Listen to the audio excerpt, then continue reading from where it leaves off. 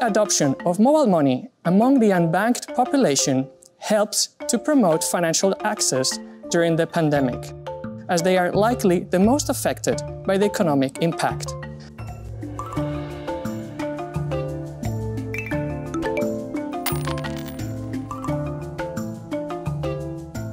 I'm Majid Bazarbash from the Monetary and Capital Markets Department of IMF. The COVID-19 pandemic has changed many aspects of our lives.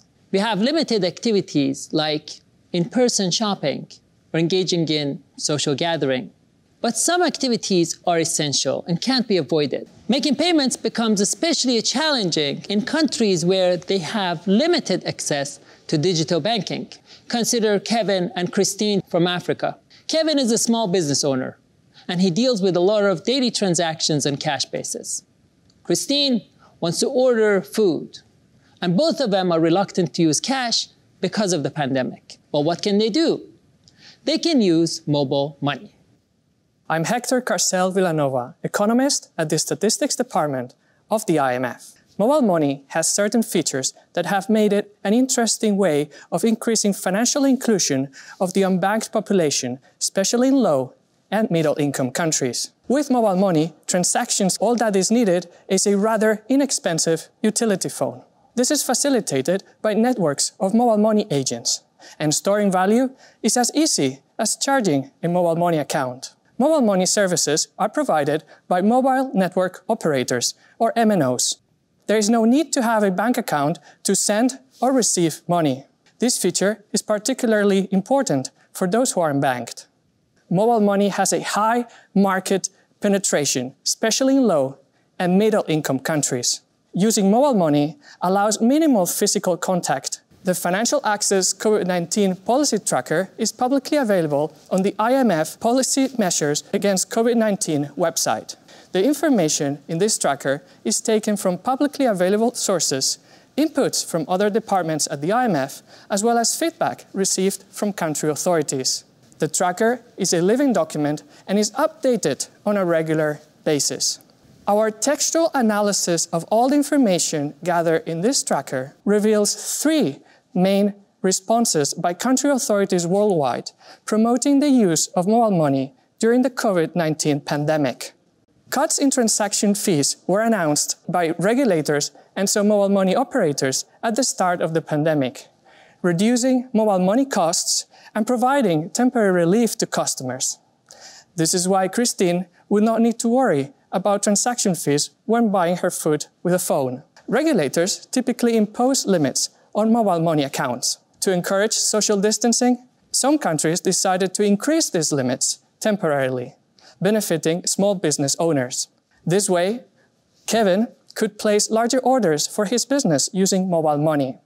KYC, or Know Your Customer onboarding policy, consists on being able to identify customers or gathering enough information to detect possible risks. Easing KYC requirements during the pandemic was aimed at encouraging customers to make payments through mobile money services. In particular, we focus on recent challenges of a rapid increase in mobile money use in the economy by three main stakeholders mobile money providers, the payment system, and mobile money users. Starting with mobile money providers, a reduction in fee income and an increase in transactions translates into pressure on profitability. Well, what's the solution? One way could be to raise revenues from other lines of business, for example, by increasing fees on voice and data. But this may not always be feasible. And in that case, a continued decline in profitability could jeopardize the mobile money business model. Mobile money providers built on mobile network operators benefit from economies of scale. Becoming a systemic player in the payment system means that their failure is going to have severe consequences for the payment system. The second aspect is regulatory arbitrage. It's important to support mobile money in time of the pandemic, but regulations should be careful not to create an unbalanced environment in favor of mobile money providers. An increase in the use of mobile money while it's favorable, it requires the funds and rights of customers to be protected. We propose several ways that mobile money users could be protected. First, mobile money providers should segregate their own funds from trust accounts which back mobile money transactions. Second, mobile money providers should report to the payment system regulators on a regular basis, and their operations should be supervised regularly. Finally, the legal environment should be supportive of customers to make sure that their complaints are treated in a fair way.